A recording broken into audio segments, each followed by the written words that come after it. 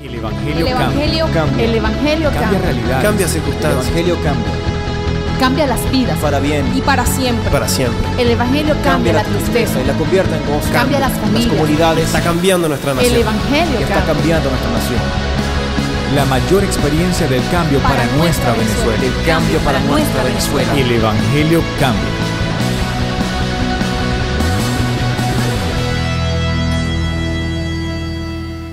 Vamos a comenzar a ver quién es Jesús, cómo es Jesús, qué desea Jesús. La idea de esta serie es tratar de acercarle a Jesús, a su, vida, a su corazón. Que usted empiece a tener una revelación de Jesús, aunque sea por cuotas o etapas, eso no es problema. El asunto es un día tener una revelación de Jesús tan poderosa y fuerte que pueda afectar todo tu ser, espíritu, alma y cuerpo, y puedas convertirte sin lugar a dudas en un creyente productivo para el reino de Dios.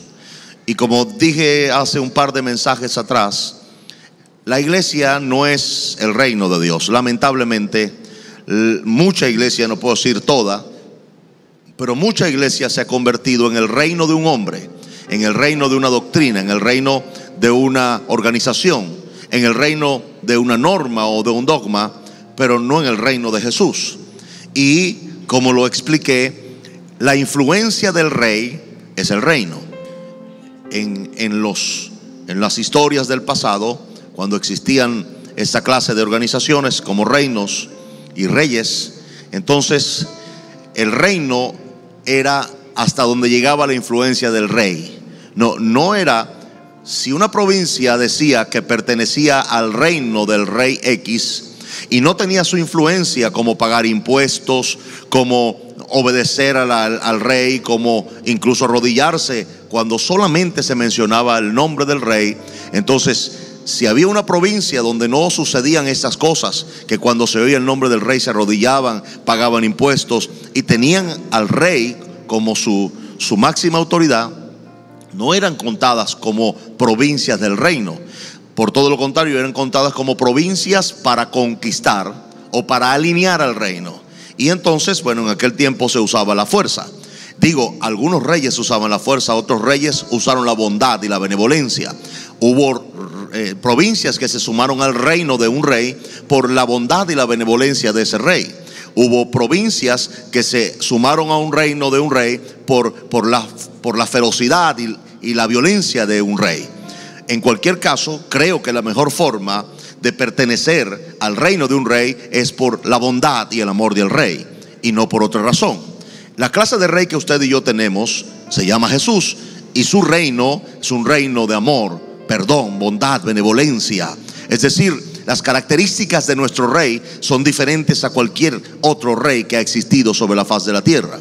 Ahora, yo me someto a ese rey no, no por la violencia, que es lo que había pretendido la iglesia antigua o la iglesia conservadora, había pretendido que la gente se sumara a la influencia del rey por medio de la violencia o el miedo. Si no lo recibes te vas al infierno y te, te quemas en el infierno. Y el miedo nunca será un vehículo para atraer a Dios. Voy a volver a repetir eso. El miedo nunca será un vehículo para atraer a Dios siempre será el mismo vehículo y la misma autopista donde él vino, el amor. No hay otra forma de traer a Jesús a cualquier circunstancia si no es por amor. Él vino a la tierra por amor, el Padre lo envió por amor, Él murió en la cruz por amor, Él resucitó por amor y nos envió el Espíritu Santo por amor. Ahora, ¿por qué yo tengo que cambiar esa, esa dirección? De, en la cual él siempre se movió, que es el amor. No lo puedo cambiar por terror, o por miedo, o por manipulación, o por normas, o por dogmas. Tengo que moverme en la misma línea que Jesús se movió, en la línea del amor. Así que cuando yo me someto a Jesús, me someto no porque me voy al infierno, me someto porque lo amo y Él me ama. Y esa es la, más importante, el, el más importante vínculo que usted debe tener con Jesús. Debe ser el vínculo perfecto del amor. Diga conmigo, vínculo perfecto del amor. La Biblia le llama al amor vínculo perfecto. Es decir, no hay otro vínculo. Quien está unido a una persona por interés no, no es una unidad perfecta. Es una, es una unidad interesada. Es una unidad que no tiene la consistencia y, y la firmeza del amor. Pero cuando hay amor del, del de verdad, del, del verídico, hay una unidad concreta, hay una, hay una unidad estable. Por eso es que es imposible unirse a Jesús por medio del miedo o del terror. Por medio del terror a, irme al infierno. O por medio del terror a que me caiga una maldición o una enfermedad mortal. Esa no es la forma de unirse a Jesús. Porque Él nunca, jamás lo que hizo, lo hizo por terror o por miedo, sino por amor. No escuche aménes aquí. La revelación de Jesús. La revelación de Jesús es lo más importante en la iglesia, porque la iglesia es la imagen o debe ser la imagen de Jesús. No, no puede ser la imagen del pastor Bertucci, ni la imagen de Maranata, ni la imagen de alguna organización. Jesús, o perdón, la iglesia siempre tendrá que ser la imagen de Jesús. Cuando, cuando la iglesia pierde esa imagen, pierde su esencia o su sustancia. Y se convierte lamentablemente en un club, se convierte en una organización religiosa, pero deja de ser la iglesia gloriosa de nuestro Señor Jesucristo. Ahora, tiene que Jesús recuperar su iglesia. Él murió por su iglesia y Él viene por segunda vez por su iglesia. Él no viene por un club social, Él no viene por un club religioso, porque, porque el hecho de que, una, de que un local tenga un rótulo afuera que diga iglesia tal, no quiere decir en primer lugar que es reino y en segunda lugar que es iglesia de Jesús. Puede ser club religioso. Y la religioso también tiene su, su, club. Una iglesia puede ser un club religioso donde la gente va a todo menos a estar con Jesús. La iglesia deja de ser la iglesia de nuestros, la iglesia gloriosa de Efesios 5:27 para convertirse en un vil club religioso. De esto ya nosotros hemos oído a Jesús en, en el capítulo 4 de, de Juan, haciendo que, que el templo se convirtiera en un desorden para muchos cuando él entró y con un látigo azotó a los cambistas, le volteó las mesas y le soltó los animales. Y le dijo, le dijo, le dijo, ustedes, ustedes señalando a los fariseos, han convertido la casa de mi padre en una cueva de ladrones.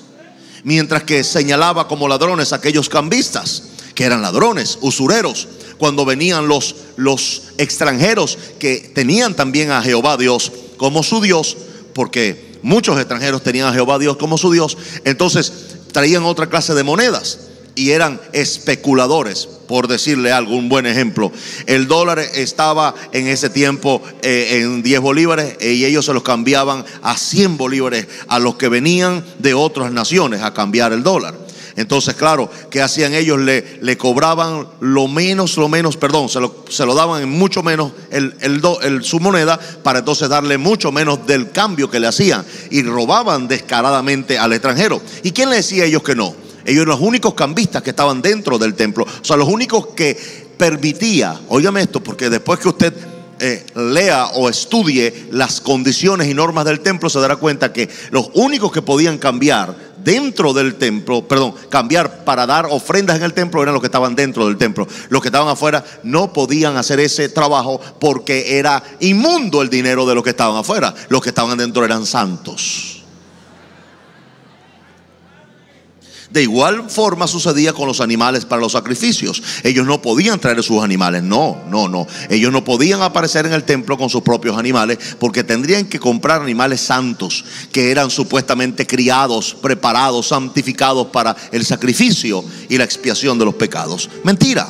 Era toda una manipulación de los líderes religiosos del tiempo para que dentro del templo se hicieran toda clase de actividades económicas por un porcentaje de la ganancia. Ahora, Jesús atacó ese sistema y Jesús lo, lo, atacó no solamente de palabras, lo atacó de hechos. Le volteó las mesas, le soltó los animales, soltó las palomas, las palomas empezaron a volar, los chivos a correr, los, las ovejas a correr por todo ese templo. Era un desastre. Entonces, él se molesta y dice, por primera vez yo veo a Jesús airado, para ser honesto, dos veces solamente lo vi airado en toda la Biblia, esa fue la primera, y la segunda, no tan airado, pero sí se molestó bastante, cuando bajó del monte con Jacobo, Pedro y Juan y le dijo a sus discípulos, ¿hasta cuándo los he de soportar? Me tienen harto ya. Jesús tuvo una molestia enorme con los fariseos y religiosos del tiempo y una molestia enorme con hombres que debieron ah, haber avanzado a otra velocidad, pero iban a paso a paso de morrocoy y Jesús se molestó, dijo, "No, no puede ser. O sea, no puede ser que ustedes a estas alturas, después de estar tanto tiempo conmigo, no puedan echar fuera un demonio." Y se molestó y dijo, ¿hasta cuándo yo los voy a soportar a ustedes? O sea, no crean ustedes que para mí es un placer estar ya con ustedes. O sea, fue, fue un tiempo, un placer, pero ya estamos llegando a un punto en que para mí es, es un fastidio estar con ustedes. ¿Hasta cuándo me lo voy a aguantar? Jesús se molesta dos veces en todo su ministerio, claramente digo, en, ese, en esos casos. Pero le voy a hablar en este mensaje solo de Jesús, no le voy a hablar de otra cosa. Para que usted empiece a conocer a Jesús, quién era Jesús, cómo se comportaba Jesús, qué clase de actitudes tenía Jesús. Ahora, tiene que entender que lo que le quiero resaltar de inicio, aunque no está en mis notas principales, es que Jesús nunca, óigame, nunca, él fue, él fue tolerante con los pecadores, pero no fue tolerante con los religiosos, nunca. No escuché aménes aquí. Él fue tolerante con los pecadores, sí, con la mujer adúltera, con, con el bandido del recaudador de impuestos, porque todos los recaudadores de impuestos eran ladrones de oficio, eran, eran estafadores de oficio.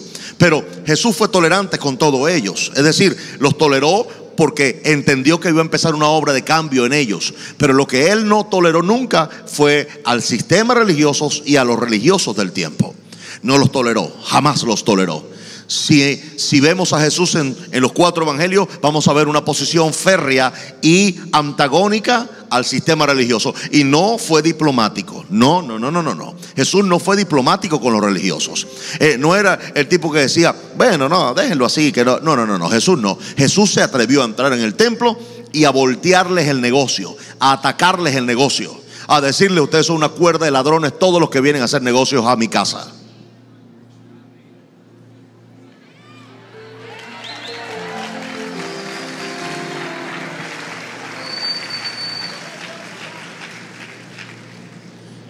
Y no digo que usted no pueda vender un producto. Pero mi- mire cómo, cómo se va tergiversando su relación con Jesús y su relación en la casa de Jesús. Cuando ya usted empieza a asistir al templo por otras motivaciones que no es Jesús. Ya lo que me hace levantar el domingo en la mañana o el viernes para ir a la iglesia no es mi pasión por estar en la casa de Dios, orando, adorando y oyendo su palabra, sino es que tengo que cobrarle a la hermana tal, al hermano Pepe, al hermano Juan, a la hermana Juana, a todos tengo que cobrarle porque le vendí y tengo que cobrarles, entonces por eso voy. Y aunque usted no diga eso, usted está haciendo eso. Al igual, al igual que el, el que está casando un hombre o una mujer en la iglesia. Entonces, entonces está es, en boca, viendo, viendo, viendo, viendo, viendo, viendo, viendo aquí, viendo allá, entra y entonces hace que el que no consigue silla y camina y camina por todos los pasillos y camina y camina y camina y camina y camina, pues, que que no consigue silla.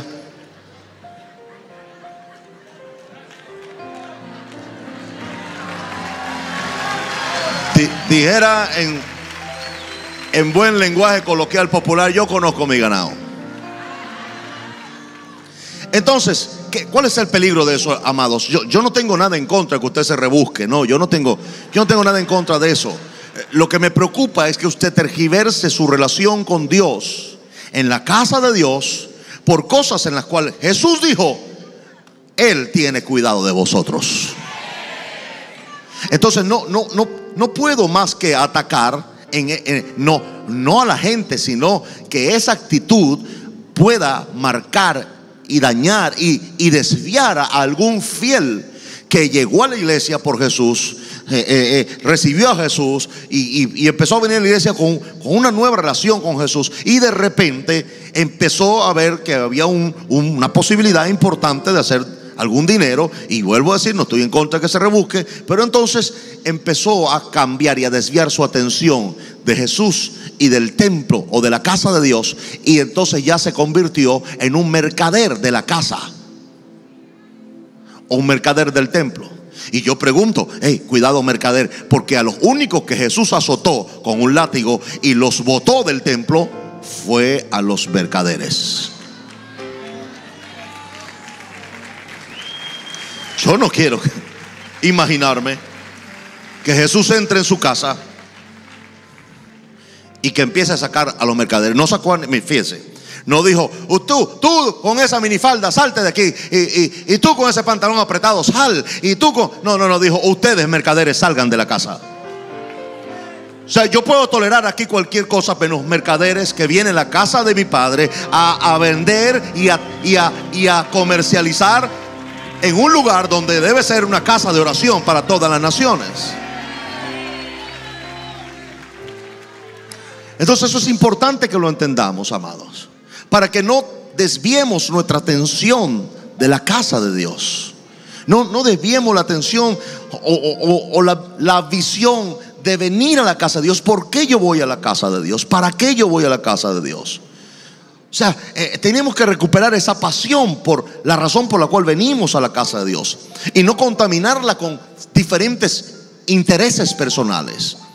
Yo, yo no vengo a la casa de Dios para vender, yo no vengo a la casa de Dios para cobrar, yo no vengo a la casa de Dios para buscar hombre o mujer, yo vengo a la casa de Dios para estar con Dios, con Jesús. Y, y por esa razón yo vengo, y por esa razón entonces, obviamente, gente que viene en esa actitud van a alar, van a cambiar una atmósfera en la iglesia. Y la atmósfera en la iglesia va a ser el cielo abierto sobre un lugar, porque hay gente que están esperando del cielo. Pero no puede el cielo pronunciarse a la tierra cuando los que están en la tierra están solo esperando de la tierra que el culto termine, que el culto termine. Y va, oye, esta hermana se sentó en la fila 15, aquella en la 30, aquella en la 45. Tengo que correr rápido hacia atrás de la cruz para entonces, que, qué lindo que voy a la cruz a, arrodillarme a orar. No, voy a la cruz a esperar a cobrar a la gente, para cuando vaya pasando, les voy cobrando. Hey, hermanos, venga, venga, aquí le traje el producto, toma, aquí está, dame mi plata. Yo oro que Jesús no aparezca en su templo. Porque en la vida de Jesús, el único lugar donde Él sacó a la gente a patadas y a latigazos fueron a los mercaderes. Y yo le digo categóricamente, con toda responsabilidad, como hombre de Dios y siervo de Jesús, a todos los pastores que abusan de las iglesias, que recogen cinco y ocho ofrendas, que recogen ofrendas diferentes para cuanta cosa se le ocurre, están mercadeando con la iglesia y no dudo de que si Jesús aparece, los primeros en ser votados van a ser muchos pastores de iglesias, que van a ser pateados de sus púlpitos por el mismo Jesús. Esas cosas alguien tiene que decirlas. Esas cosas alguien tiene que decírselas a la iglesia santa de Jesús para que no se dejen abusar. Pero también a la iglesia santa de Jesús hay que decirle que no se conviertan en mercaderes de la casa de Dios y que se conviertan en gente que van a la casa de Dios solamente para buscar un bien personal, sea hombre, sea mujer, sea dinero, sea cobro, sea venta, lo que sea, van a algo, va- van a algo que no tiene que ver con su connotación espiritual, sino con una connotación absolutamente física y horizontal. Eso debe cambiar, porque para comprar y vender la calle es grande y la ciudad es grande. ¿Por qué escoger la casa de Dios, el recinto interno de la casa de Dios para vender cosas o para cobrar cosas o para casar hombres o casar mujeres? No dudo que si buscas con esa intensidad consigas algo, pero tú lo conseguiste, tú lo buscaste y tú te la calas y te sale mal. Eso debe ser así mismo, como se lo estoy diciendo.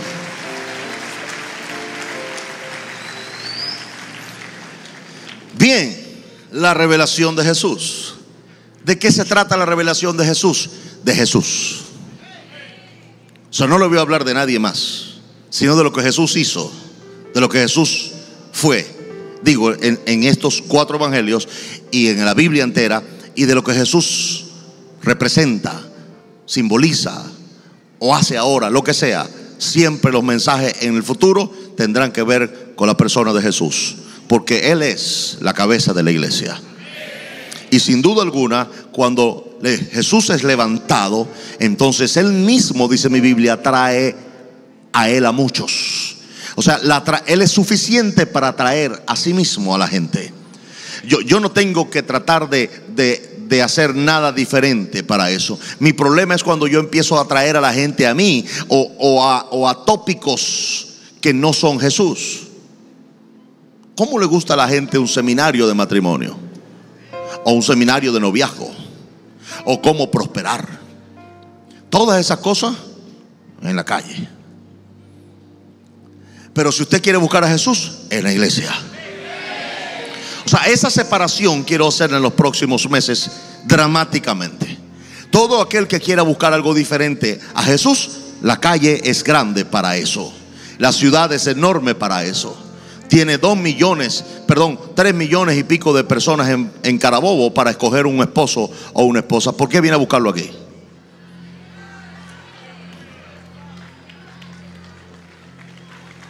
Es una locura. Si Dios se lo va a dar, si, usted dice que Dios se lo va a dar, y usted cree eso, espérese, tranquilo. Espere el suyo, espere la suya. Si no, se va a ponchar. Tirándole a bolas. Lo van a ponchar. Entonces es una cuestión que, que tiene en sí mismo una, una complicación. Y es que tú desviaste tu atención de Jesús en su casa o en su templo para agarrar otras atenciones. Y es muy posible que en esas condiciones Satanás te pueda enredar en su trampa. Entonces, es la misma cosa, por eso hay hermanos que vienen, le venden a un hermano a crédito, 15 días no le paga y, y terminan por tener diferencias. Se va el hermano de la iglesia o molesto o se va el que debía la plata para que no le cobrara. Y yo digo, eso vino de Dios, eso fue la voluntad de Dios. ¿Qué hiciste con esa venta? ¿Sacaste a un hermano de la iglesia? ¿O qué hiciste con esa venta? Te fuiste bravo de la iglesia porque el hermano no te pagó. Y después entonces, pastor, este hermano no me paga, eso no es problema mío. Ni del pastor Paco ni de ningún líder. Usted a mí no me preguntó que le iba a vender al hermano una crema. Usted no me dijo, pastor, ¿le puedo vender una crema crédito a la hermana tal? Como usted no me preguntó para vendérsela, no me pregunte para cobrársela. Usted ahora cobre. Y si el hermano no le paga, bueno, allá la hermana y usted, eso es problema de, de el diablo y ustedes. No de Dios, no meta a Dios en ese problema. Porque Dios no está metido en una transacción de ese tipo en su casa. No, si Dios se mete en esa casa, lo saca con todo y mercadería. Entonces, no es asunto de Dios. Eso es un problema del diablo y ustedes que cayeron en odios y en rencores ahora en la trampa del diablo por estar vendiéndose cosas, prestándose dinero y haciendo transacciones donde la intención jamás fue ni Dios, ni su voluntad, ni su nombre, ni su casa, sino algo muy personal y muy egoísta, por cierto. Entonces, eso termina en cosas muy malas, como odios y rencores entre ustedes, como hermanos que se van de la iglesia para que no les cobren o se van de la iglesia porque les deben o lo que sea. O sea, eso no está bien y, y le puedo asegurar que eso no es la voluntad de Dios. Si usted lo hizo, bien. Nos arrepentimos todos aquí hoy y decimos, no lo volveremos a hacer nunca más. Amén. Diga conmigo, no lo volveremos a hacer nunca más. Bien. En fin, Jesús, la única manera de conocerle nosotros, nosotros no, no estuvimos con él, pero bienaventurados los que no vieron y creyeron. Jesús se refería a usted y a mí. Categóricamente Jesús se refería a usted y a mí. Que nunca lo vimos, nunca lo conocimos, nunca le dimos la mano, pero lo conocimos, le recibimos y lo amamos, le servimos y le mostramos el amor con toda devoción, entrega, servicio, dedicación, sujeción, etcétera. Ahora, la única manera que usted puede conocer a Jesús es por medio de la revelación. Y, y yo quiero, yo quiero que usted entienda que la revelación de Jesús es de manera personal. No puede ser de manera de asamblea. No, no, no. La revelación de Jesús viene a una persona, a una sola, aunque hayan seis mil personas en un lugar, Jesús se revela a una. Ahora, a esa una puede ser repetida y puede llegar a ser miles, pero Jesús se revela uno por uno, no a todos al mismo tiempo, sino a uno por uno. La persona encargada de revelar a Jesús es el Espíritu Santo, pero, pero el Espíritu Santo usa las palabras para revelar a Jesús. ¿Alguien está entendiendo eso? Entonces, la iglesia gentil que somos nosotros, somos llamados o somos obligados a conocer a Jesús por medio de la revelación que viene por el Espíritu Santo y por una relación, óigame esto, una relación estable, permanente con la persona de Jesús. Yo dije una relación estable y permanente, no una relación esporádica de domingo en domingo, aunque sí se le puede revelar a Jesús, pero se le va a revelar un poco lento. Porque la única razón de venir a oír de Jesús es que Jesús se me revele. Es la única razón. Ahora, ¿por qué tanta iglesia, usted preguntará, hoy día está tan desviada de la voluntad de Jesús? Pero ¿sabe qué es serio?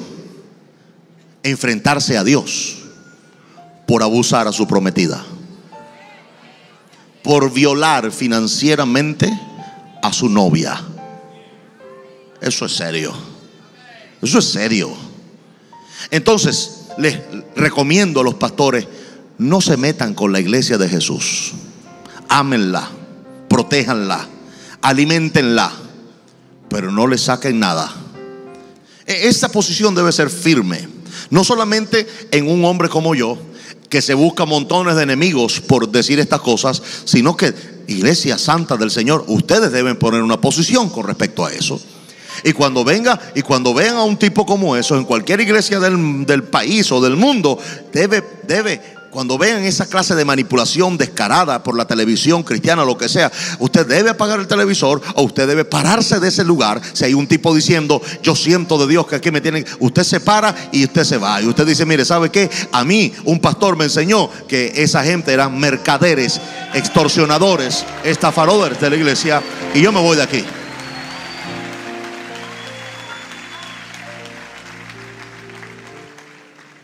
Entonces, ¿Por qué debo decirles esto?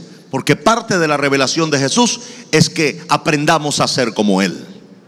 Repito, parte de la revelación de Jesús debe ser aprender a ser como Jesús. No, no, no que yo sepa quién es Jesús y siga viviendo como a mí me da la gana. Sino que la revelación de Jesús cambia a la persona que tiene la revelación de Jesús. La mejor muestra de esto, usted lo conoce, es Saulo de Tarso. En Hechos 9, él relata su conversión, después lo lee en casa. Eh, estos mensajes van a ser más así, eh, algunos momentos va a ponerse un poquito emotivo, pero van a ser más esto, una enseñanza práctica, sencilla y espontánea acerca de Jesús. No tengo ni siquiera notas, solo mi Biblia. Porque no quiero, no quiero esquematizar lo que pueda decir de Jesús en este lugar. He pedido que sea el Espíritu Santo el que le hable mientras estoy parado acá y que Él le revele a Jesús mientras yo le estoy hablando. Entonces, mientras que usted está oyéndome, está aprendiendo no del alma, no está aprendiendo de la psiquis o de la mente, sino del espíritu.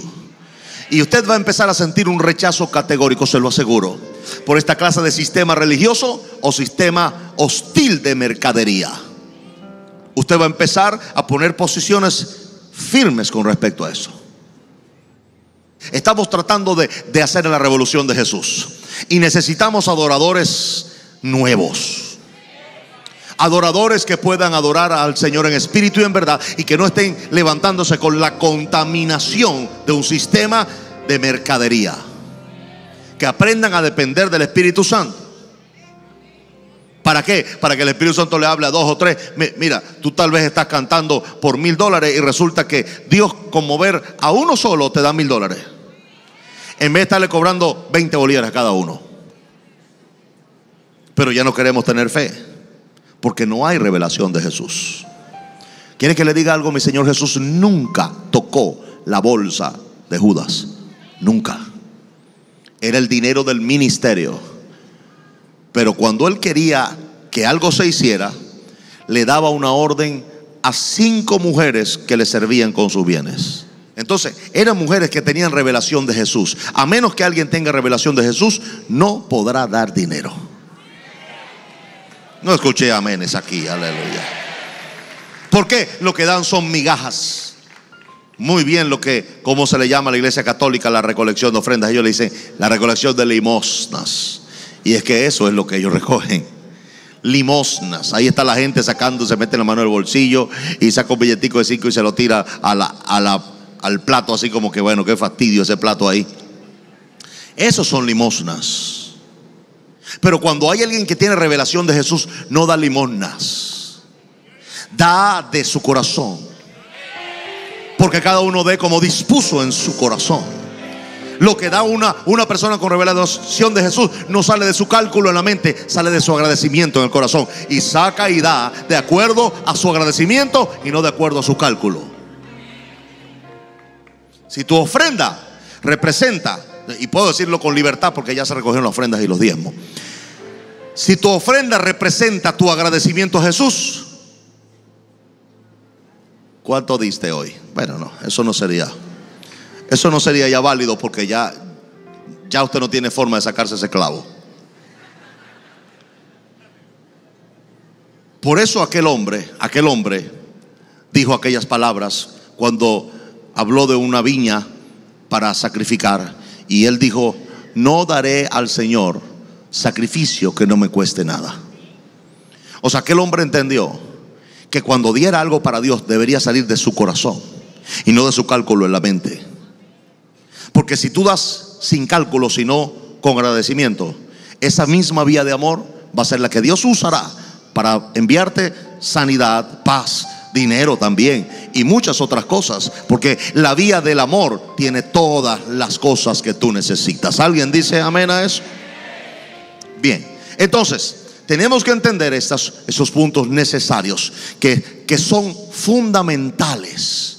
Yo no quiero dinero obligado de nadie. Yo no quiero dinero manipulado de nadie. Si alguna persona en esta iglesia de dinero tendrá que darlo bajo la, la, la línea del agradecimiento y el amor a Jesús porque le conoce, porque quiere servirle, porque quiere agradar su corazón, porque sabe que está financiando la salvación de miles, porque sabe que está financiando el, el, el avance del reino de Dios, que es la influencia de Jesús. Eh, Eso es, eso es una buena forma de dar dinero. Si usted no, no tiene esa revelación y usted da con, esa, con ese cálculo seco, cuando pasa la cesta, quiere que el hermano del lado vea que algo echó, entonces no dé nada. Usted no está, mire, le voy a decir, no es obligatorio. Usted cuando viene a la iglesia no tiene por qué dar algo cuando ve la cesta. No. Usted no tiene que echarle nada a la cesta, no está obligado a hacerlo. Y si usted no lo hace, nadie puede condenarlo ni acusarlo de un pichirre o lo que sea. Si alguien le dice, mire hermano, sea pichirre, pasó la cesta y no ha hecho nada, dígale hermano, mire, yo estoy en mi transición, tengo, quiero tener revelación de Jesús, quiero hacerlo bien, quiero dar bien. Y, yo no voy a dar por, porque usted me vea o, o para que usted me vea, yo voy a dar para que Jesús me vea.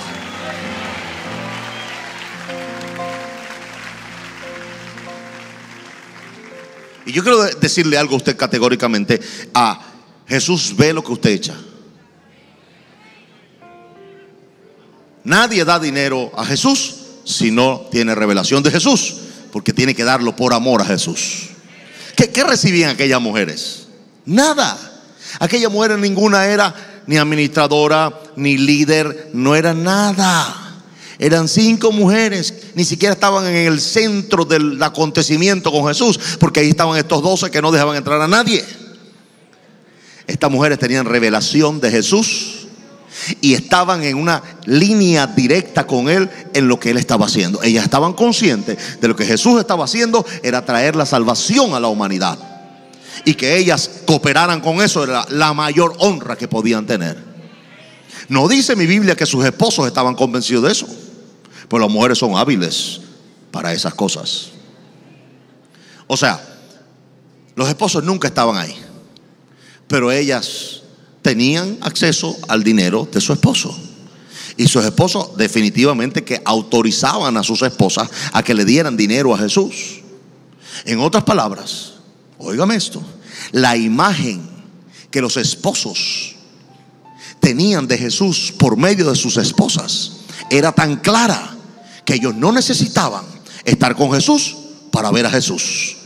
Ellos veían a Jesús en sus esposas y por esa razón no tenían ningún problema de dar dinero para el Jesús que ellas reflejaban. Les voy a decir una cosa, preciosas esposas que no tienen esposos en la iglesia, muchas veces la razón por la cual sus esposos no vienen a la iglesia no es por, porque, porque son malos pecadores y borrachos, sino porque la imagen que usted le ha mostrado de Jesús no es la más correcta.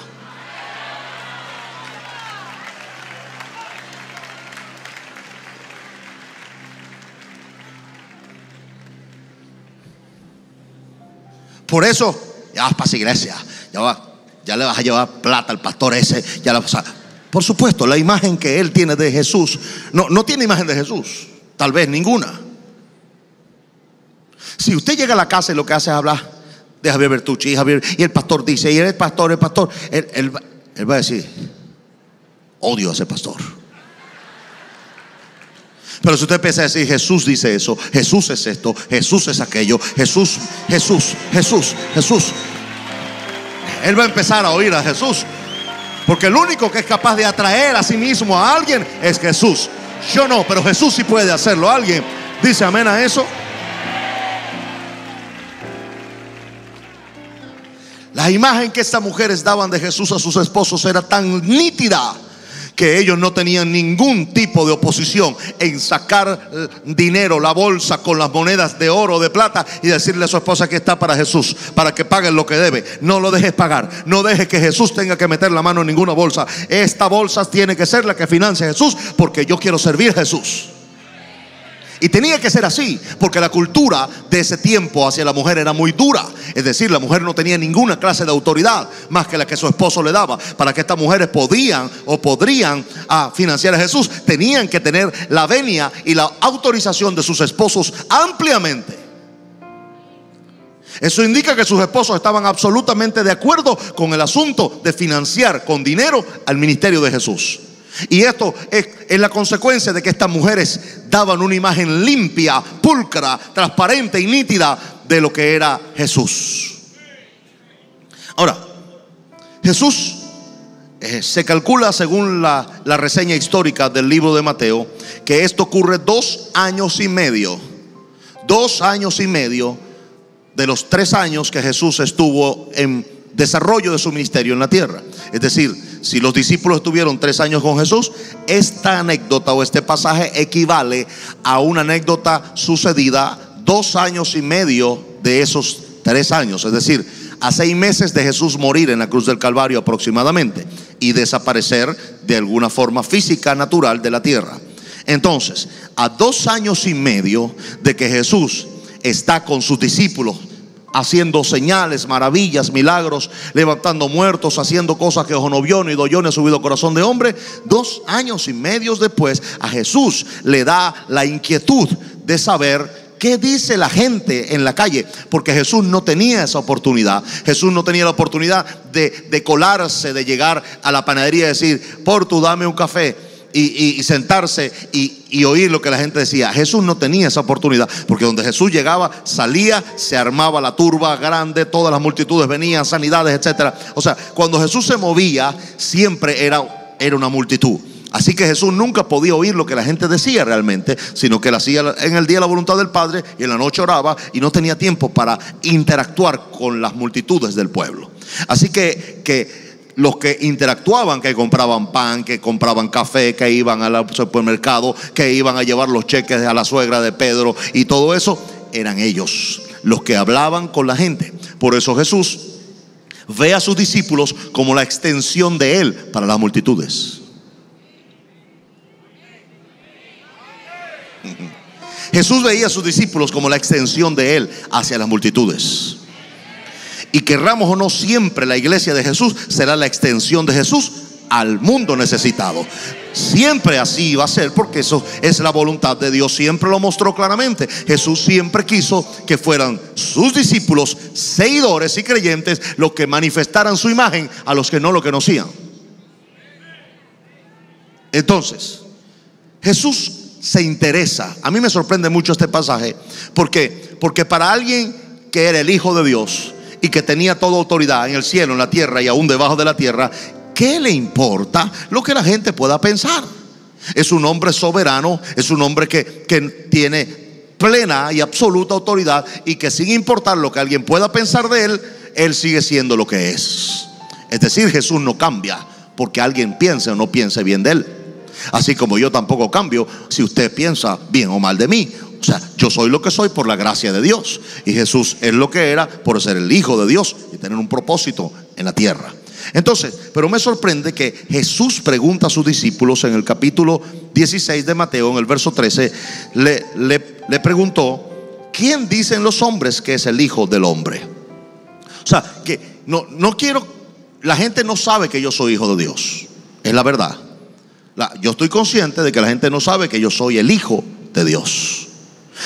La gente piensa que yo soy todavía, soy el hijo de María, el bastardo de José, y que tengo el oficio de carpintero, eh, me dejé de eso, ahora soy rabí por mis palabras. O sea, la, la sabiduría de Jesús era notoria y la gente lo empezó a llamar rabí o maestro, porque bueno, eso es lo que se, se destilaba para alguien que decía palabras profundas.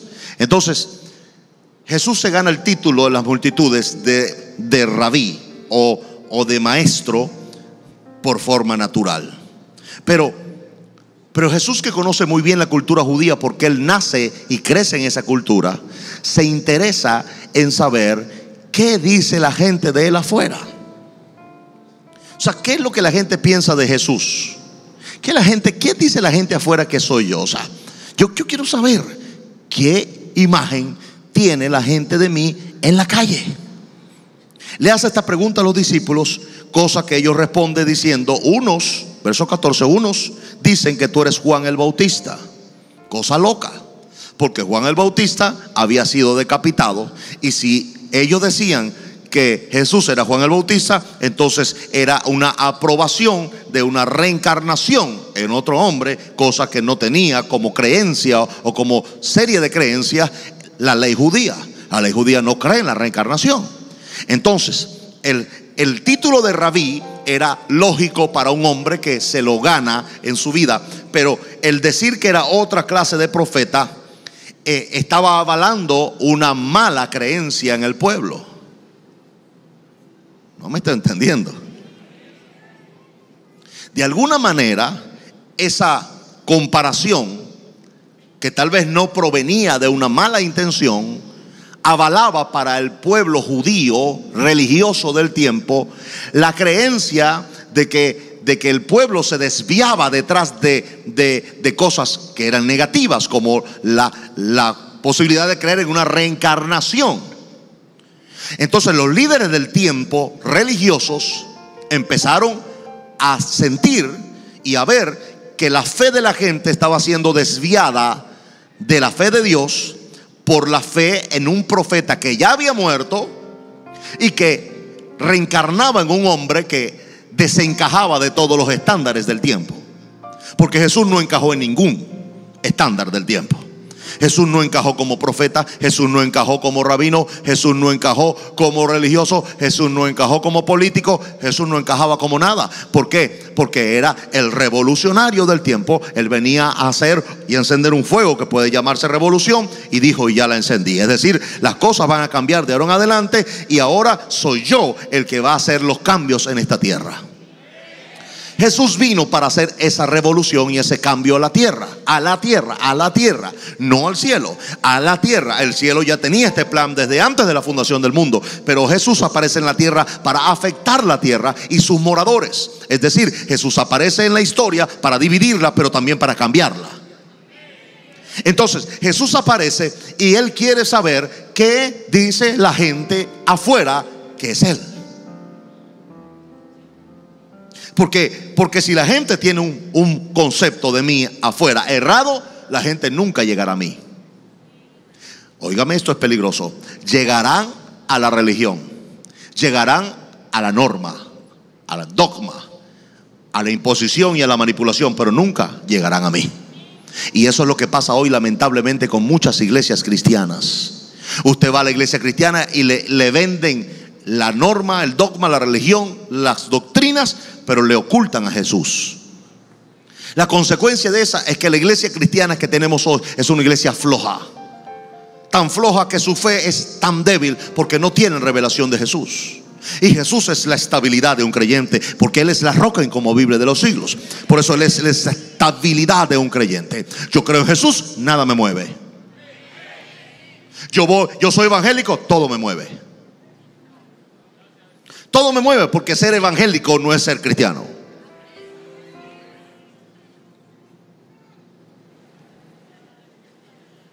¿Por qué no? ¿Por qué no? ¿Qué es lo que buscamos? ¿Por qué no? Una gente te vea y te diga, uff, lo más cercano para mí a Jesús eres tú.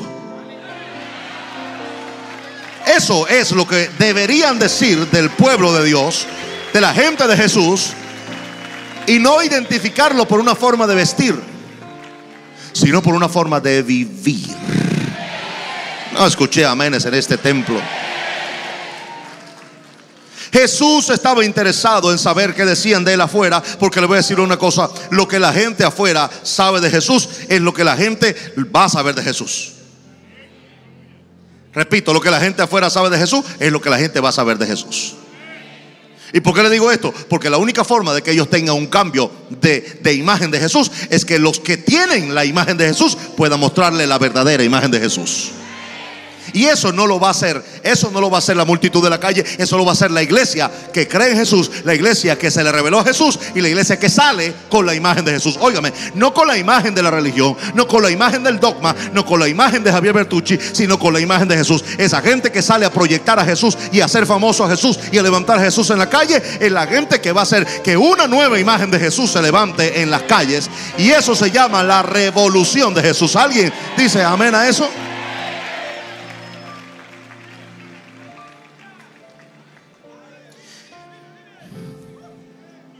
Unos dicen que tú eres Juan el Bautista.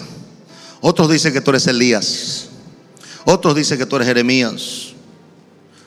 O algunos de los profetas. Fíjese que la gente, la gente trataba, trataba de hacer una comparación y de identificar un asunto que se pareciera a algún profeta del pasado. El problema era este, los profetas todos habían muerto, no había un profeta de los de la Biblia que hubiera estado vivo todos habían muerto. Todos los que habían estado en contacto directo con estos profetas también habían muerto. De manera que no había un profeta en el momento con quien comparar a Jesús, ni siquiera al recién extinto Juan el Bautista. Entonces, de paso, Juan Bautista tenía una forma de vida extraña. Él aparecía de repente del desierto, ¡pum! Aparecía en el Jordán. Y bueno, todo el mundo en la multitud esperando a Juan. Aparecía así a lo lejos en el desierto, caminando con su traje de, de camello y aparecía, bautizaba a la gente y ¡boom! y se desaparecía. Le daba una enseñanza a los discípulos y se desaparecía. O sea, a, Juan no había forma de, de calibrar su vida porque Juan era un tipo raro que vivía en el desierto, que comía puro grillo con miel y que vestía una cosa rara. Es decir, Juan era un, profeta raro que no se la pasaba con nadie. A Juan no se le conoció, no se le conoció un amigo, no se le conoció un servidor, no se le conoció nada. Juan era un tipo raro que aparecía y desaparecía. Entonces de Juan no había rastros, ningún rastro. Así que no había manera de compararlo. No había forma de comparar a Jesús con otro profeta más que, que la especulación de decir, bueno, entonces Jesús es esto, eso, aquello. Muy parecido a lo que hoy sucede en el mundo la gente no tiene cómo conocer a Jesús. ¿Por qué? Porque lo único que pueden conocer de Jesús son estas películas que pasan a veces, que usted le dan una idea mm, ahí medio vaga. Porque el conocimiento de Jesús o la revelación de Jesús no puede venir a la mente, sino al corazón y al espíritu. Entonces, no importa cuántas veces le advierto esto, vea usted la película de Jesús. Usted, si ve la película de Jesús 20 veces, usted no se le va a revelar a Jesús, porque la vía de la revelación no es la mente ni los sentidos, sino el Espíritu y el Espíritu Santo. Aleluya. Bueno, Jesús se queda viendo a todos, escuchando las respuesta de todos, tú eres esto, tú eres aquello, tú eres esto. Ah, este, bueno, y empezaron hasta a bromear, a bromear, bromear. Algunos le habrá dicho, bueno, Señor, pero yo he escuchado otras cosas más feas de ti, pero no te voy a decir porque, claro, mire, hijo, ¿qué no se decía de Jesús? ¿Qué no se decía? De bastardo. ¿Usted se acuerda cuando Jesús se consigue con los fariseos y le dijeron, bueno, nosotros sabemos, por lo menos nosotros sabemos quién somos hijos? Y le dicen a Jesús abiertamente y en la cara, pero tú eres un bastardo. O sea, no, yo soy, yo sé de quién. Eso no se lo dijeron que eran de Abraham. No, no, no, no, no. Usted está equivocado. Lea su Biblia y se dará cuenta que estos fariseos ofensivos y malos lo que quisieron fue humillar a Jesús públicamente. No, no, no. Ellos no estaban diciendo que eran hijos de su padre Abraham. Ellos estaban diciendo, nosotros sabemos quién es nuestro papá. O sea, yo sé quién me engendró.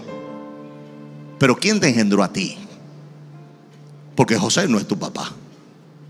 Y María nunca dijo con quién estuvo. O sea, tú no conoces a tu papá. O sea, tú eres un bastardo. A lo que Jesús, bien entendido, lea su Biblia. Algunos dicen que Jesús fue muy fuerte. No, Jesús no fue fuerte. Jesús fue, fue suavecito. Porque le dicen bastardo públicamente y Jesús le dice, bueno, no, no, no, ustedes están todos equivocados. Ustedes no saben de quién ustedes son hijos. Pero yo se lo voy a decir. Yo se lo voy a decir ya mismo de quién son ustedes hijos. Ustedes son hijos el diablo, todos.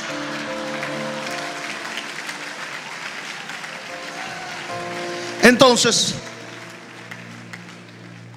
algunos creen que Jesús fue fuerte decirle a la gente, hizo el diablo, pero no fue fuerte. Venía, venía de, de ofenderlo, decirle bastardo. O sea, decirle, decirle, tú no tienes papá y tu mamá es una loca regalada que se acostó con quién sabe quién que ni se acuerda.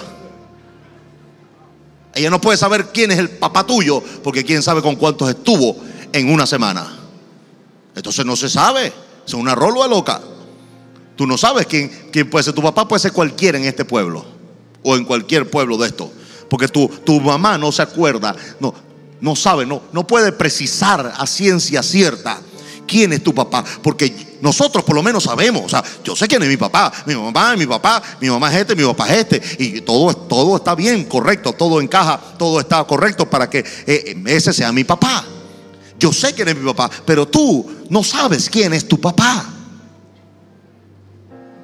Y tu mamá no te pudo decir quién es tu papá, porque tu mamá es una rolo de loca que se costó con 20 en una semana y cualquiera pudo haber sido su papá.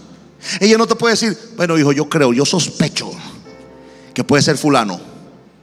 Ni siquiera tiene sospecha porque la mujer no sabe con cuánto se acostó. En otras palabras, los fariseos ofensivos, la religión, los religiosos son malos, con corazón malo y bajos. Y le dicen, nosotros, nosotros tenemos ya el concepto claro de que tu mamá fue tan loca que no pudo definir quién es tu papá, por esa razón no sabe quién es tu papá, y entonces se inventó un cuento tan, tan fantástico como que, como que el Espíritu Santo le embarazó. O sea que aparte de eso es hereje, ofensiva al cielo. Así que nosotros tenemos un papá que conocemos y un padre espiritual al cual nos debemos. Nuestro padre espiritual es Abraham. Y sabemos quién es nuestro papá. Pero tú no sabes quién es tu papá. Todo eso se cernía en esa conversación que usted lee en la Biblia y que dice, lo que más sobresale es la palabra de Jesús diciéndole hijos del diablo, pero eso no es lo que más resalta. Cuando usted lo lee bajo la lupa del Espíritu Santo, se da cuenta que es una conversación sumamente ofensiva y baja de parte de unos religiosos malos. Y Jesús lo único que hizo fue decirles la gran verdad. Ustedes hacen las obras de su papá. Así que su papá, por deducción, es el diablo. Y nadie dijo que el Señor lo reprenda. Nadie. Porque todos se quedaron calladitos. Y se callaron y se fueron. Porque no podían resistir las palabras de este hombre. Porque esa es la característica de alguien que habla como Jesús. Y es que la gente no puede resistir el peso de sus palabras. ¿Alguien dice amén a eso o no? Yo le he contado esta historia de múltiples maneras y formas. Es el momento determinante, importante, donde por primera vez se da la claridad de cómo Jesús tenía que venir a la gente. Y óigame porque aquí le va a bendecir esto en estos últimos 15 minutos. Déjeme decirle que esta es la forma única que Jesús dejó claramente establecido en las escrituras para que lo conocieran a él. Ahora, dos años y medio con Jesús no fueron suficientes viéndolo levantarse, viéndolo acostarse, viéndolo sanando enfermos, levantando muertos, levantando paralíticos. No fueron suficientes para que los doce o uno de los doce discípulos tuviera una revelación cercana a quién era Jesús. Ninguno. Peor aún, ellos iban a la panadería y le decía el portugués, epa Pedro, mira, oye, ese, ese maestro tuyo es Juan el Bautista. ¿Y sabe lo que decía Pedro? Amén. Claro, Juan Bautista era un hombre respetado en, en la línea de los, de los religiosos. De repente llegaba Felipe al, al- al abasto y entonces estaba pagando y le decía el dueño del abasto, Felipe, ese maestro tuyo es como igualito a Jeremías. Lo vi llorando en estos días, idéntico. Y entonces, claro, Jeremías era otro profeta respetado. Entonces ellos para, como, como Jesús no encajaba en ningún lado, sus propios discípulos querían que a su maestro lo compararan con alguien respetable. para ellos poder tener algún estatus. Pero ser los discípulos de un, de un maestro desconocido que no podía compararse con ningún maestro respetable, eh, no era justo para ellos. Por ello ellos empezaron a avalar estas comparaciones raras y locas. Oye, tú, tu maestro es como Jeremías. Y entonces Felipe decía, tú lo has dicho, tú lo has dicho. Entonces, esa imagen de Jesús en la panadería, en el abasto, en los mercados populares, se gestó bajo el auspicio de los que estaban más cerca de él. Y le voy a decir a una comparación del tiempo, la mala imagen que tiene el, la gente afuera de la iglesia de Jesús y de Jesús es culpa de la misma iglesia que ha dado esa mala imagen afuera y la ha avalado. Por ese aval errado y equivocado. Muchos no quieren venir a Jesús, otros no quieren venir a la iglesia y otros quieren darle la espalda a lo que ellos ven como religión. Y, esa, y ese concepto es el resultado de una mala imagen que los que han estado cerca de Jesús han dado a las calles y multitudes. ¿Y por qué ellos han dado una mala imagen de Jesús en la calle? Porque ellos mismos no tienen una imagen clara de Jesús. Porque a dos años y medio no se sienta mal, no se sienta condenado, no se sienta acusado ni atacado por este servidor de Jesús. Porque le estoy diciendo que hombres que estuvieron cerca de Jesús dos años y medio con él no tenían una revelación de Jesús. Así que que usted asista a una iglesia todos los domingos no es garantía de que usted tenga una revelación de Jesús. Que usted lea una Biblia eh, y, y, lea un capítulo diario para calmar su ceremonia religiosa y evangélica no es causal de tener una revelación de Jesús. La mayoría de las veces los que han tenido revelaciones de Jesús inmediatas ha sido por consecuencia de una caída.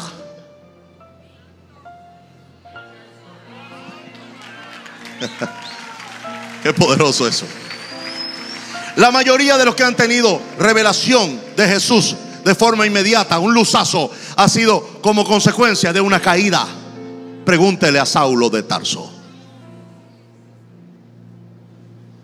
La mayoría de ustedes no estuvieran en esta iglesia si no hubieran pasado por el momento difícil que pasaron. Porque cuando les iba bien y todo estaba bien, no pensaban nunca en Jesús.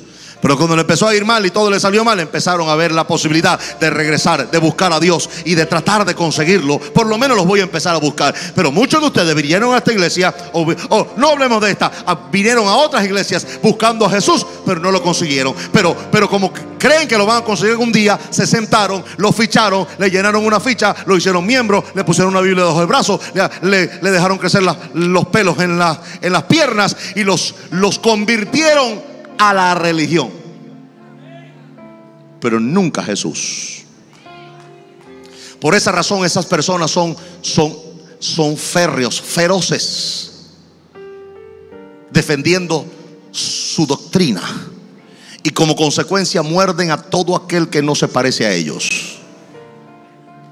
Y todo aquel que no se viste y habla como ellos, se va al infierno. Hemos llegado a pensar que toda persona que no se viste como yo, no es cristiana. Eso no es Jesús. Eso es religión y de la peor, de la más baja calaña.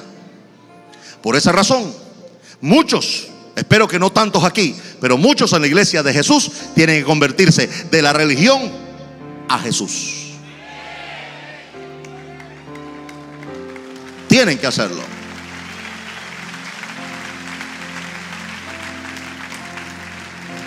Claro. Usted dirá, pero ¿qué es más fácil? Bueno, yo creo que debe ser más fácil convertirse de la religión a Jesús que del mundo a Jesús. Digo, no sé, me parece a mí, tal vez. El problema del religioso es que él piensa que está bien. Por eso es, es más difícil que se convierta de la religión a Jesús. Porque él piensa que está bien. En cambio, el pecador del mundo sabe que está pecando. Y, y sabe que tiene que arrepentirse y volver a Dios.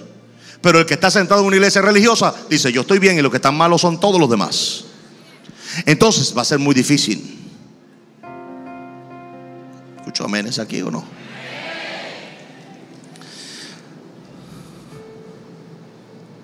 ¿Qué tenemos que hacer entonces?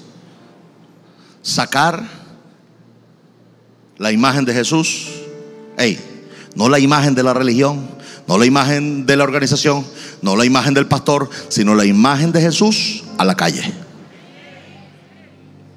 El Evangelio cambia es la manifestación de Jesús en las calles. Debe ser la manifestación de Jesús en las calles.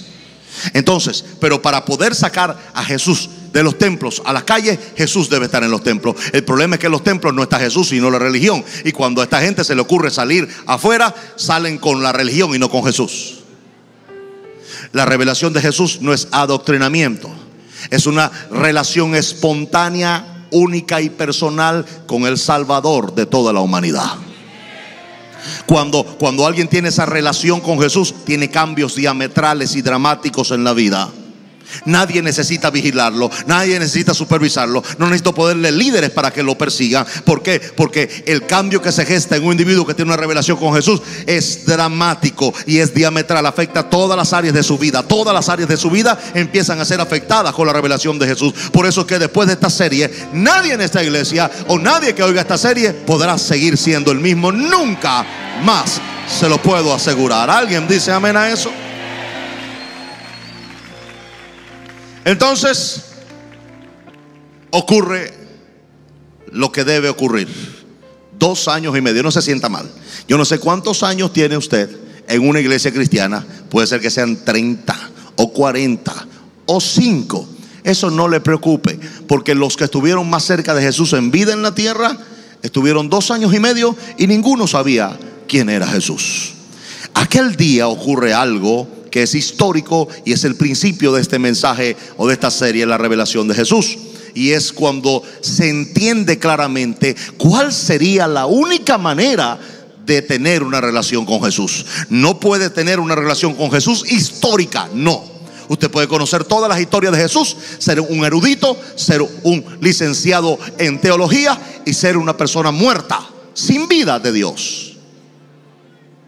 Porque a Jesús no se le puede conocer por medio de la historia. A Jesús no se le puede conocer por medio de la religión, porque la religión siempre va a ser las normas, las dogmas y las manipulaciones de los hombres y lo que ellos dejan de ver o dejan ver a Jesús son luzazos, algo, algún luzazo. Y si te muestran a Jesús, te lo quieren mostrar en debilidad crucificado todavía muriendo en una cruz. Pero no te pueden mostrar nunca a un Jesús resucitado porque para ellos aún está muriendo en esa cruz después de dos mil años. Jesús que yo te estoy hablando dejó esa cruz.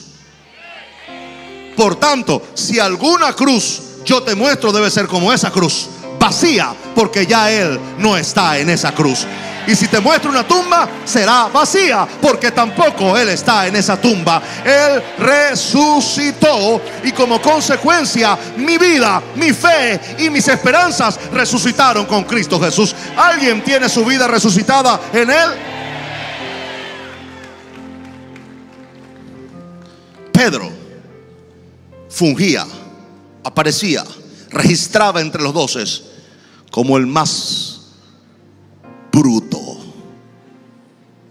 el hombre de menor coeficiente intelectual. Era un hombre tosco, bajito, peludo, bueno, así lo, así lo reseñan la historia, ah,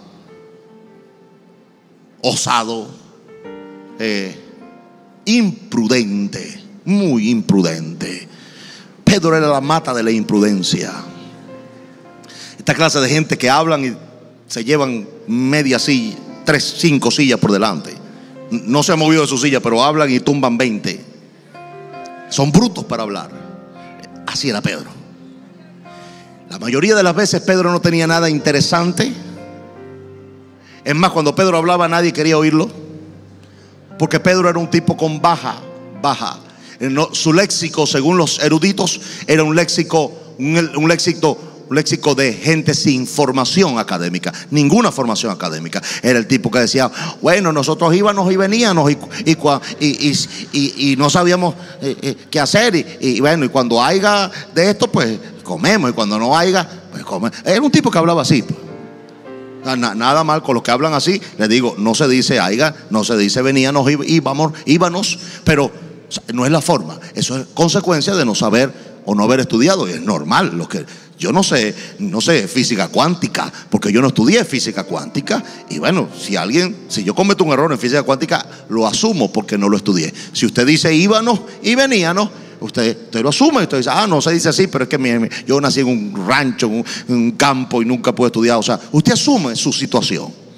Pedro la asumía con total claridad. O sea, él le decía a los demás, mire, yo no sé hablar bien, soy un tipo mal hablado, mal encarado y medio malandro. No como cuento para quitarle la oreja a nadie. Pedro un tipo tosco. Y entre el grupo, él aparecía como el bruto. O sea, Pedro el bruto. Y cuando ellos querían que alguien se atreviera a decirle al maestro algo raro, que no estaban seguros de decirlo, al que empujaban a decir semejante cosa era a Pedro. Pedro. Y ahí estaba Pedro.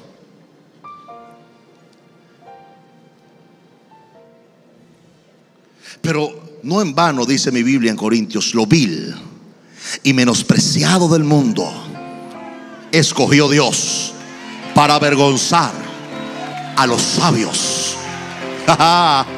¿Cuántos han calificado en esta clase de verso? Yo el primero. Le plació a Dios darle la mayor revelación y la única, por cierto, que puede tener alguien el único conocimiento que puede tener alguien de Jesús es por medio de la revelación que viene por medio del Espíritu. No por medio de la religión, ni por medio de la, de la historia, ni por medio de la manipulación, sino por medio de la revelación del Espíritu Santo a tu espíritu me está escuchando no puede tener un conocimiento de Jesús que venga en otra línea, porque si no, usted no va a aguantar cuando su fe sea aprobada, cuando su relación con Jesús sea aprobada, no va a poder aguantarla, porque la única relación con Jesús que aguanta es la que vino como consecuencia de la revelación. Y para esto Dios usa muchas cosas. Puede usar cualquier anécdota en tu vida para revelarte a Jesús. Entonces, Pedro responde y dice, tú eres el Cristo. Ya yo le he echado ese cuento muchas veces. El Cristo, el Hijo del Dios viviente. Jesús se le acerca y le dice, bienaventurado eres Simón. Y aquí viene, no te lo reveló. Carne ni sangre. Sino mi Padre que está en los cielos. Está diciendo Pedro, la revelación que tú has tenido no ha sido la consecuencia de tu inteligencia o de tu afinidad en el pensamiento. Ha sido la consecuencia de la gracia de Dios para revelarte quién soy yo. Usted conoce la, la consecuencia de saber quién es Jesús, porque Jesús lo dice aquí. Ahora que tú sabes quién soy yo, te voy a decir yo mismo quién eres tú por supuesto, en mí. Y le dice un montón de cosas. Le dice que él es Pedro y que, eh, que sobre esa roca edificará su iglesia. Y se refiere no a Pedro como la roca de la iglesia, sino a la revelación de Jesús en Pedro como la roca de la iglesia. ¿Alguien dice amén a eso? Desde ese verso 17, preciosa iglesia de Jesús, toda persona que tiene conocimiento de Cristo tiene que recibirlo por medio de la revelación que viene del Espíritu Santo y no de una situación de historia o de religión, porque Jesús no se revela por religión, Jesús no se revela por historia, Jesús se revela por el Espíritu Santo a una persona. ¿Alguien dice amén a eso? Bien, entonces le dice a él que el, que las puertas del infierno no prevalecerán contra esta iglesia. ¿Cuál iglesia? No la iglesia club, no el club religioso, no la iglesia evangélica que solamente está pendiente de las normas, de las dogmas y de las imposiciones humanas, sino de la iglesia que tiene a Jesús como su revelación principal. ¿Alguien dice amén a eso? ¿Cuál es la iglesia que prevalece? La iglesia de Jesús. ¿Cuál es la iglesia que gana? La iglesia de Jesús. ¿Cuál es la iglesia que no puede ser vencida? La iglesia de Jesús. ¿Cuál es la iglesia que el infierno le teme? A la iglesia de Jesús. La iglesia que tiene revelación de Jesús es una iglesia que es poseedora de las llaves del reino de los cielos. Eso es poderoso. La revelación de Jesús me hace tener llaves. Diga, llaves. Eso está en plural, quiere decir que hay varias o múltiples llaves para cada situación. Hay una llave para la sanidad, hay una llave para la prosperidad, hay una llave para la paz, hay una llave para el desarrollo personal, hay una llave para el desarrollo familiar. Cada una de las cosas que tú necesitas tiene una puerta que le impide y que esa puerta entonces tiene una llave y esa llave te la da la revelación de Jesús. Óigame, no un seminario cobrado, no, no, no un seminario eh, eh, inducido, sino una relación espontánea y genuina con Jesús te da la llave para tu paz. Te da la llave para tu desarrollo personal. La llave para la prosperidad. Te la da Jesús. Diga conmigo, Jesús tiene las llaves. Ok. Cuando hay una revelación de Jesús, tú recibes no solamente una revelación de Jesús, sino que recibes las llaves del reino de los cielos. Y recibes una autoridad de vengada. Diga conmigo, de vengada. Diga de vengada. Ah, vamos a poner un término más fácil. una autoridad resultante de una relación con el que la tiene. Podría llamarse, podría llamarse autoridad delegada, delegada, como consecuencia de una relación con el que tiene la autoridad. Cuando yo tengo revelación de Jesús, entonces Jesús me da autoridad. Óigame esto, Él me da autoridad delegada o, o, o o resultante, me da autoridad a mí en la tierra y en el cielo. Ah, Me da autoridad en, en la tierra y en el cielo.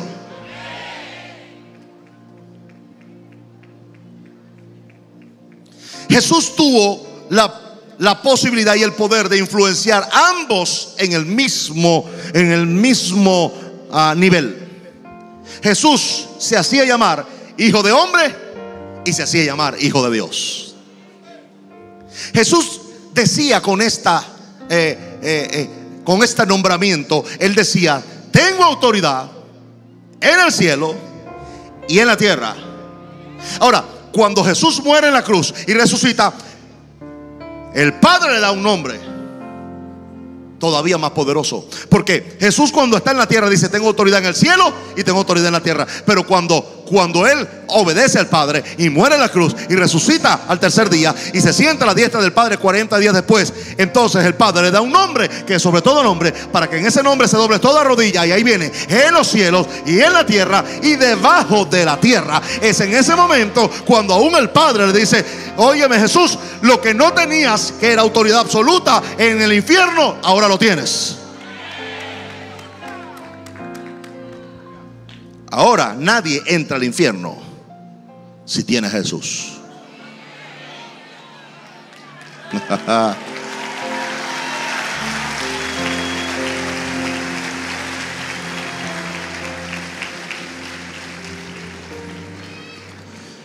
Entonces viene esta frase poderosa, y todo lo que atares en la tierra será atado en los cielos. Y todo lo que desatares en la tierra será desatado en los cielos. Le voy a leer lo que el original dice.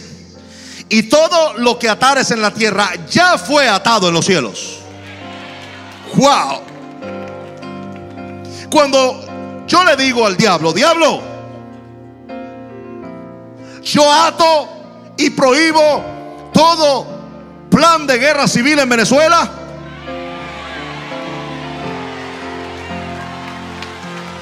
¿Qué ocurre en el cielo? Es algo instantáneo. Ya fue hecho en el cielo. Ya fue hecho en el cielo. Y cuando ya fue hecho en el cielo, la tierra es el resultado del reflejo de lo que el cielo decidió. ¿Alguien dice amén a eso? Pero ¿quién puede atar desde la tierra? ¿Y quién puede desatar desde la tierra? Solo aquellos y únicamente aquellos que tienen una revelación firme, clara y nítida de Jesús. Ningún bocón que diga, yo ato en la tierra, es atado en el cielo. Porque la única cosa que Jesús claramente destaca en este capítulo es que para poder tener esa autoridad, Lo primero que hay que tener no es un instituto bíblico, ni, ni haber orado tres horas, ni haber, ni haber ayunado 40 días. Lo primero que hay que tener para poder tener semejante autoridad de que cuando yo hable en la tierra, sea hecho en el cielo y luego la tierra sea afectada por lo que yo ordené desde la tierra, desde el cielo, porque el cielo es el que afecta a la tierra, hay que tener revelación y relación con Jesús.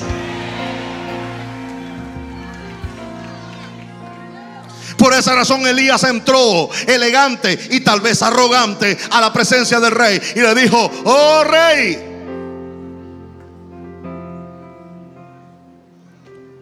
te digo, delante de Jehová, en cuya presencia estoy. No, no, no, no, no, no, no. Lo, lo- lo- lo que pasa es que usted no, no sabe lo que dice el original hebreo. El original hebreo no dice en cuya presencia estoy. Sino que Elías entró al rey y le dijo, dijo, dijo, rey, óyeme lo que te voy a decir. ¿Qué va a acontecer? Y no dijo, no dice el original en cuya presencia estoy, sino el Dios que está aquí conmigo. Wow. Elías le dice, rey, el Dios que está aquí conmigo. O sea, cuando yo entré aquí, cuando yo entré aquí a este palacio, Dios no estaba en este palacio. Pero cuando yo entré en este palacio, Dios llegó conmigo a este palacio.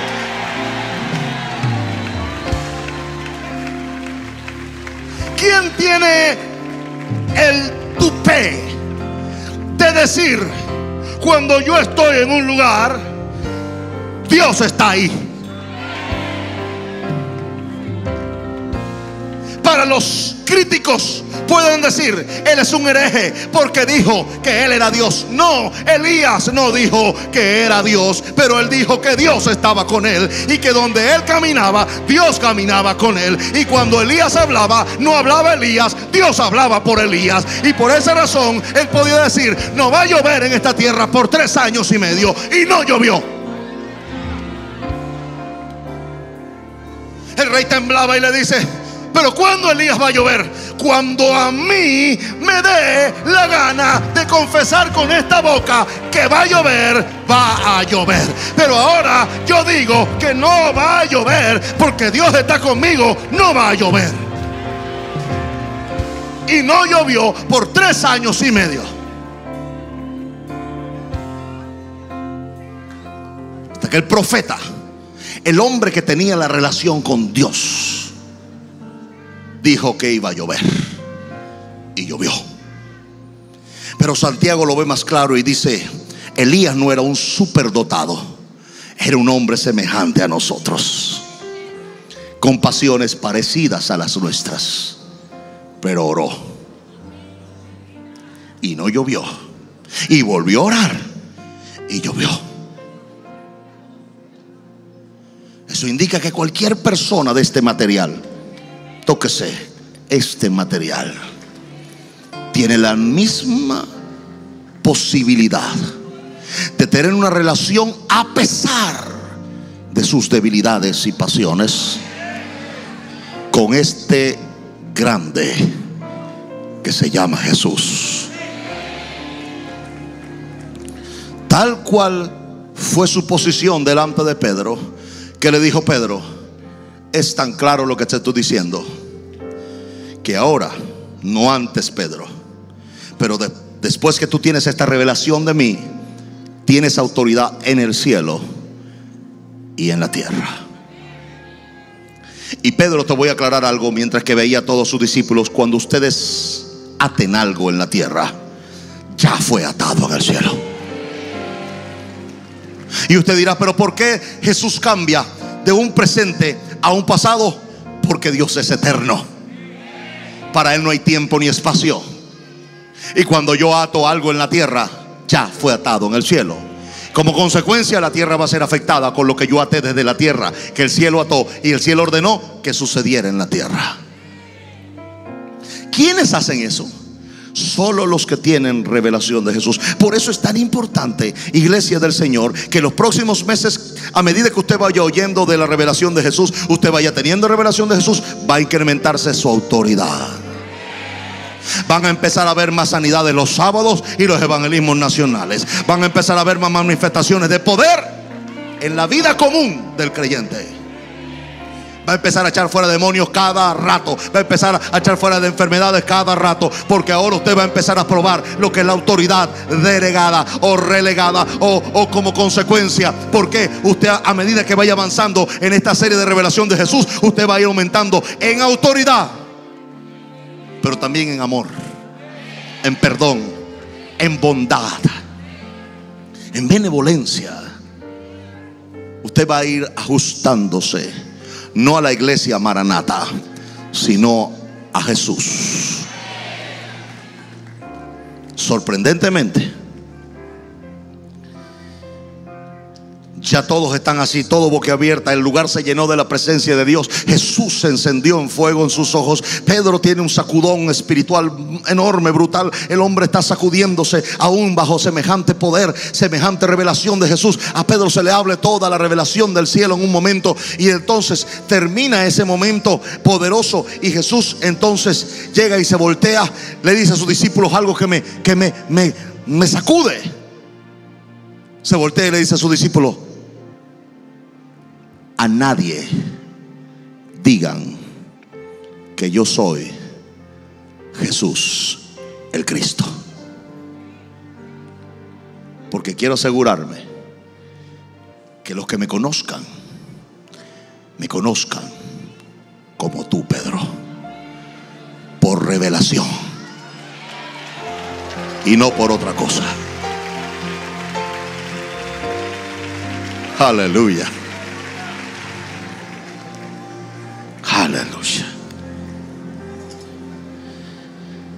Esos mensajes serán emocionantes. Le voy a decir lo que el Espíritu Santo me dijo mientras predique esta serie. Muchos serán sanados sin siquiera orar por ellos. Muchos serán libres de demonios sin ni siquiera ordenarle que salgan. Muchos serán bautizados en el Espíritu Santo sin siquiera orar para que eso ocurra. Porque a medida que vaya hablando de esta serie, la influencia de Jesús va a venir más profunda y poderosamente sobre esta iglesia y sobre todas las que oigan esta serie. El resultado de esto va a ser que el reino de Dios va a caer sobre este lugar. Una de las cosas que empieza esta gran oración de Jesús en Mateo 6, después de exaltar y glorificar al Padre, reconocer que Él existe para nosotros y que es mi papá, mi Padre, es venga tu reino.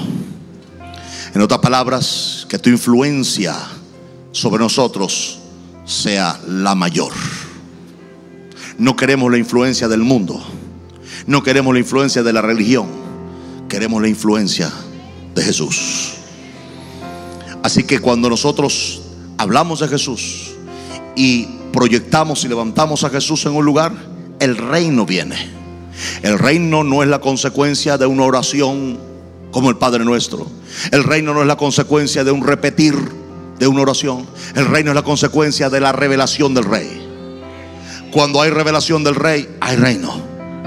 Porque el reino es la influencia del rey.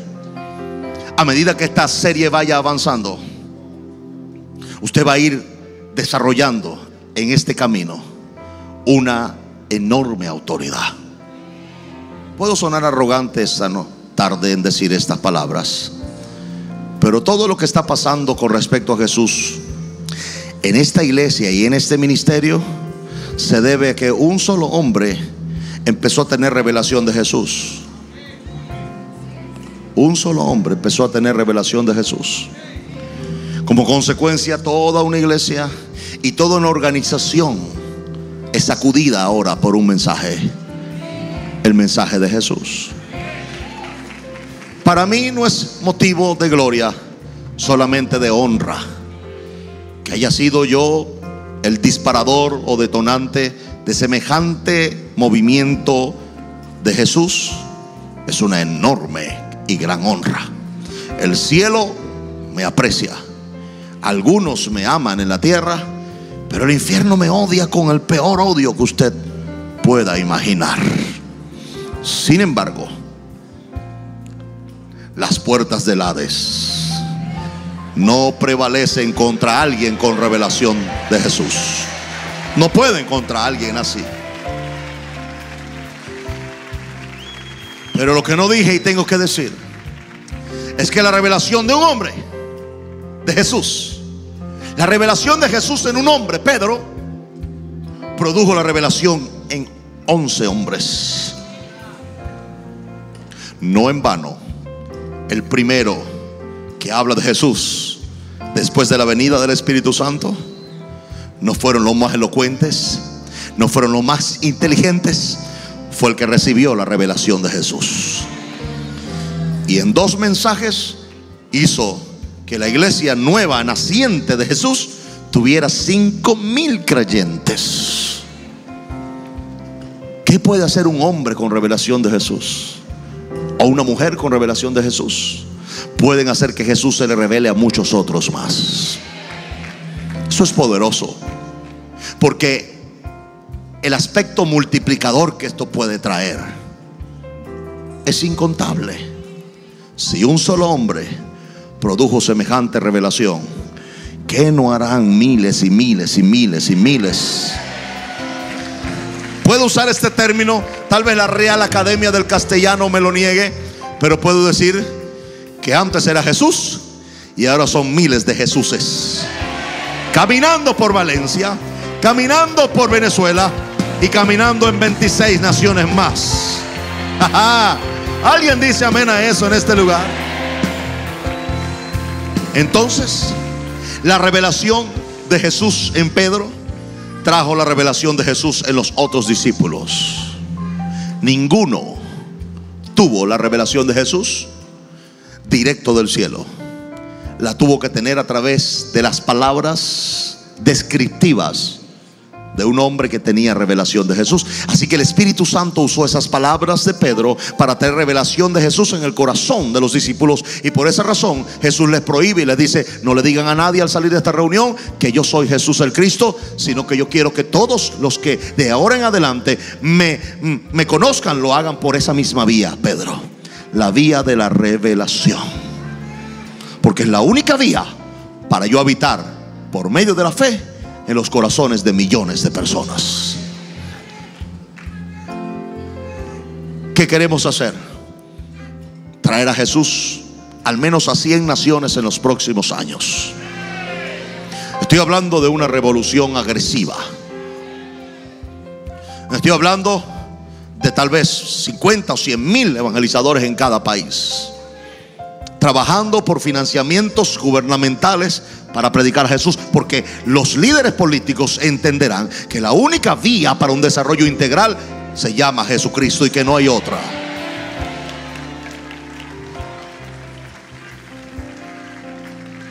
Y tal vez puede sonar duro o difícil, pero vamos a empezar a abrir de inicio en 20 naciones en los próximos dos años. Oficinas centrales del Evangelio Cambia no son de Maranata, son del Evangelio Cambia en 25 naciones. Esta oficina será la que articulará el Evangelio Cambia en esa nación. Las iglesias maranatas se afiliarán, así como cualquier iglesia podrá hacerlo. Y habrá un venezolano, no importa el país, con la pasión y la marca de Jesús en su corazón. Administrando, desarrollando, de manera de que el Evangelio cambia, nunca se convierte en un método seco, sino que se mantenga la hegemonía con la sustancia del Espíritu Santo de que esto nació para levantar a Jesús. Que esto no nació para hacer crecer a una iglesia, no, no, nació para hacer crecer a una denominación, no nació para hacer crecer el ministerio, la plataforma de alguien. Esto nació para levantar a Jesús. Y mientras yo viva, esto va a mantenerse con esta pureza. Y cuando yo me vaya, me aseguraré de que esto continúe por varios siglos, de la misma manera, hasta que Cristo venga. Y puedo sonar arrogante, puedo sonar altivo, pero este será una de las principales herramientas usadas por el cielo en los últimos tiempos para traer a Jesús por segunda vez a la tierra. Pueden criticarme, sí. Pueden decir que arrogante este pastor. ¿Por qué no otro método? Yo, yo no digo que hayan otros, pero digo que este será uno de ellos. Y esa será la responsabilidad de este servidor en los próximos años que Dios me dé de vida en esta tierra. No será levantar nuevas y grandes iglesias, no. Solamente estoy comprometido con la de Caracas porque es una sola. Pero no pienso ni pretendo ni levantar nuevas iglesias ni construir templos. No. Yo no voy a seguir echando raíces en la tierra porque yo tengo planes en la eternidad. Y si, y si tengo dinero será para financiar las oficinas del Evangelio Cambia en las diferentes naciones del mundo. Para financiar y seguir manteniendo esta, este, esta manifestación de Jesús en todo lugar, a toda lengua y a todo pueblo. Sorprendentemente, Dios nos va a dar el dinero para sostener toda esta gran estructura de Jesús en la tierra. Yo eso no dudo ni un poquito. Levante sus manos al cielo y diga, Señor, aquí estoy. El pastor necesita 100 personas. Dígalo, el pastor necesita 100 personas para enviarlas a dirigir, coordinar, organizar. El Evangelio cambia. La predicación del nombre de Jesús en 100 naciones. Señor, si yo hallo gracia delante de tus ojos, puedo ir como embajador del Evangelio cambia a cualquiera de estas naciones. Yo estoy dispuesto a dejarlo todo atrás para extenderme a lo que está adelante. Para ir y obedecer. En primer lugar, con la última orden que tú diste en la tierra. Señor Jesús, ayúdame a serte fiel, a agradarte. Y ruego que los próximos meses, en cada mensaje, yo salga de este lugar con una mayor, mejor y más nítida revelación e imagen de ti, mi Señor Jesús. El Evangelio, El Evangelio, cambia, cambia, el Evangelio cambia cambia. realidades. Cambia El circunstancias. Evangelio cambia. Cambia las vidas. Para bien. Y para siempre. Para siempre. El Evangelio cambia la tristeza. y la convierte en gozo. Cambia las familias. comunidades. Está cambiando nuestra El nación. Evangelio que está cambia. cambiando nuestra nación. La mayor experiencia del cambio para, Para nuestra. Venezuela. El cambio para nuestra Venezuela. El Evangelio cambia.